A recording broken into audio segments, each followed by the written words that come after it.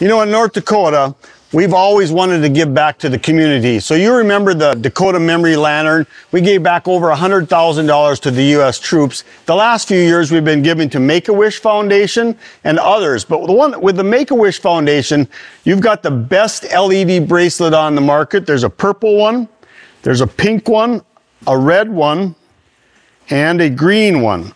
And these do different things. You can have different settings in them. I've seen them last up to 50 hours. So when I shot the Oxbow Country Club shoot last year, there were kids running around the whole area and I could tell where they all were because every one of them had an LED bracelet on.